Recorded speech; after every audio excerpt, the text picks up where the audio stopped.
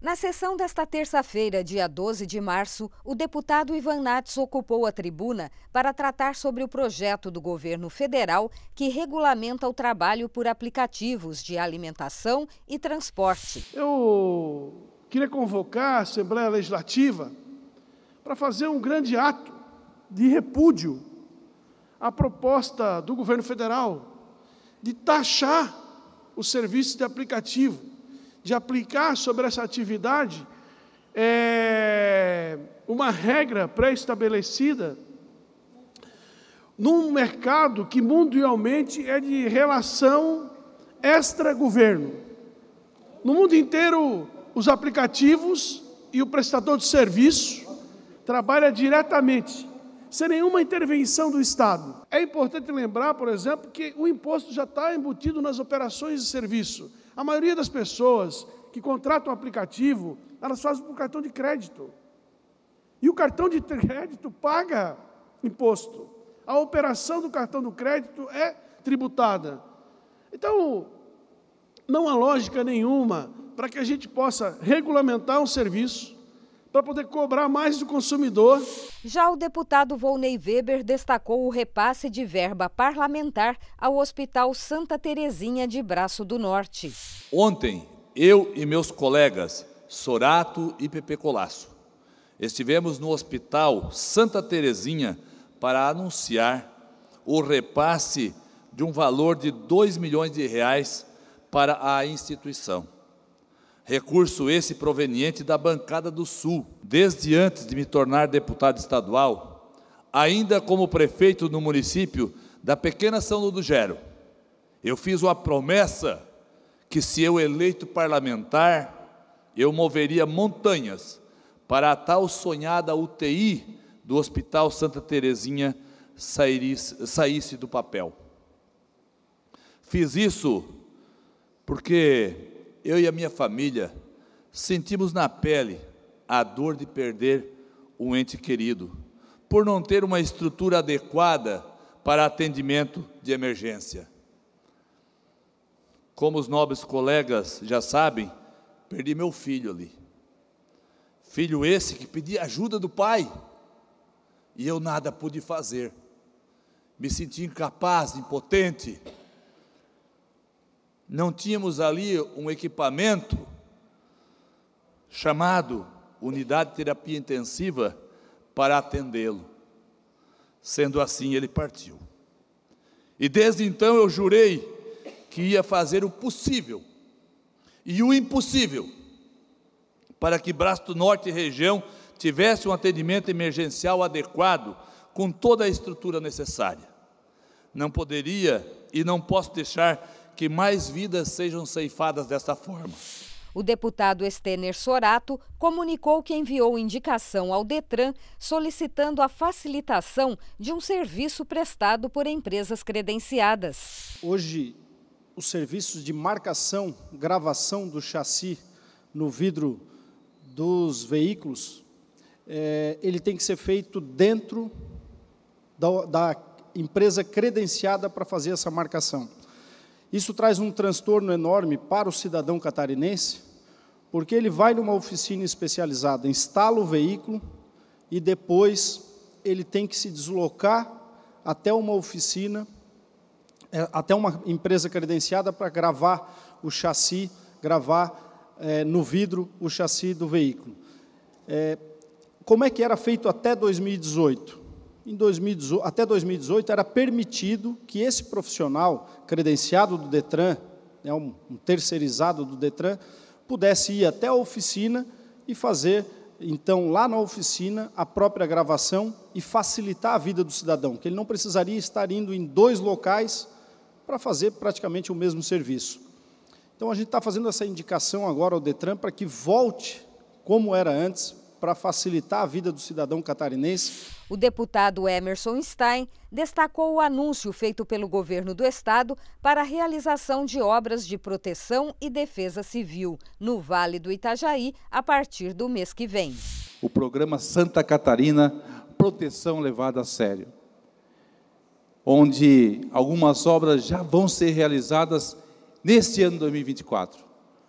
como a construção de algumas barragens, deputado Marcos da Rosa, que estava presente, deputado Carlos Humberto, e também o desassoreamento e a limpeza do rio Itajaí, já no perímetro urbano da cidade de Rio do Sul.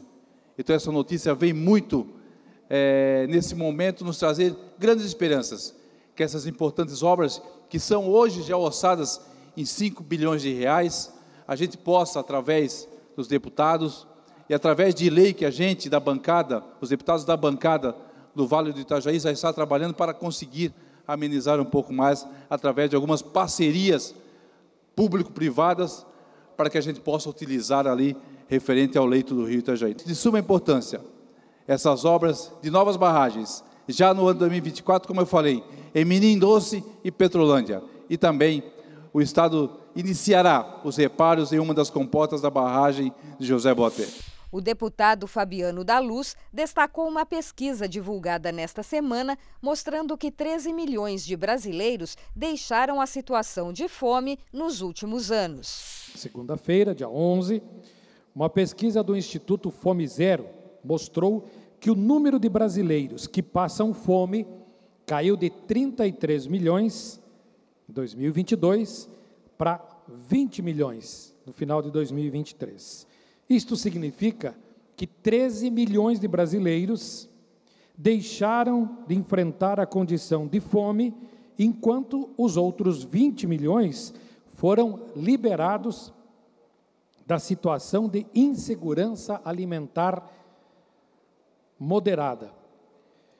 Esses números representam uma queda de 30% na insegurança alimentar total, considerando as categorias grave e moderada em comparação a períodos anteriores. O deputado Antídio Lunelli informou que representou a Assembleia Legislativa no Fórum da Confederação Nacional dos Transportes em Joinville no último dia 7 e que o foco das discussões foi a BR-101. A situação está ficando insustentável. Nós precisamos traçar um plano de ação eficaz e rápido dentro de toda a burocracia envolvida para a rodovia não colapsar de vez.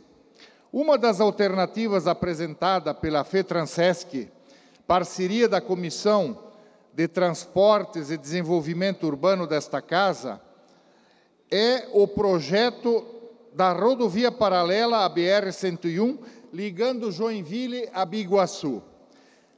Temos as piores avaliações de fluidez do trânsito na BR-101. Norte com notas E e F. Segundo a CNT, isto impacta em 550 milhões por ano em custos adicionais ao setor de transporte em Santa Catarina. A deputada Ana Campanholo abordou, entre outros temas, a importância de apoio financeiro à polícia. Em 2021, quando era deputada dessa casa, eu aloquei 100 mil reais para equipamento de mergulho do BOP. Na verdade, qualquer um dos senhores pode imaginar que não é uma prioridade para o BOP o equipamento de mergulho. Mas nós ouvimos a demanda e acreditamos na petição, no pedido desse setor da segurança pública, que nos disse: olha, nós podemos fazer grandes coisas com esse equipamento de mergulho. Acredita no nosso pedido, deputada, destina verba para isso. E foi isso que nós fizemos com a nossa emenda de apenas 100 mil reais, o menor valor possível para uma emenda aqui desta casa, nós alocamos dinheiro para que o BOP pudesse comprar um equipamento de mergulho. E agora estamos colhendo resultados. Para aqueles jornalistas, para aqueles adversários políticos que dizem que ter um posicionamento ideológico marcado não dá resultado prático. No mês passado, em fevereiro, a Polícia Federal, em parceria com o nosso BOP, com os mergulhadores do nosso BOP, conseguiu apreender 124 quilos de cocaína no porto de Imbituba, usando os equipamentos de mergulho que nós adquirimos para, para a polícia. E também no ano anterior, no ano passado, nós já falamos sobre isso, uma operação do comando do Cobra, junto também com o BOP, já havia localizado 130 quilos de cocaína, também de cocaína, no casco de um outro navio no mesmo porto. Então, olha só, acreditar na segurança pública e agir preventivamente traz resultados. Por último, a deputada Jana Guedes lamentou que a Prefeitura de Florianópolis ainda não tenha destinado um terreno para a construção de uma unidade da Casa da Mulher Brasileira na capital catarinense. Precisa de um terreno de 6 mil metros quadrados para a construção da maior casa, do projeto maior da Casa da Mulher Brasileira, que é um projeto de 3 mil metros quadrados. Eu não estarei mais aqui nessa casa, mas peço que os deputados, deputado Marquito, deputado Rodrigo Minotto, continuem nessa luta para que a prefeitura aqui de Florianópolis ceda esse terreno o mais rápido possível. Estive no Ministério das Mulheres, já tem o projeto, é de conhecimento do Ministério para ser construída essa casa que vai atender a todas as mulheres vítimas de violência no estado de Santa Catarina, mas nós precisamos que seja num tempo ágil para que essa construção saia. A Casa da Mulher Brasileira é um local que vai atender 24 horas por dia, todos os dias da semana, as mulheres vítimas de violência, tanto como casa de passagem, como todo o atendimento psicológico, jurídico e o atendimento que as mulheres precisam nesse momento.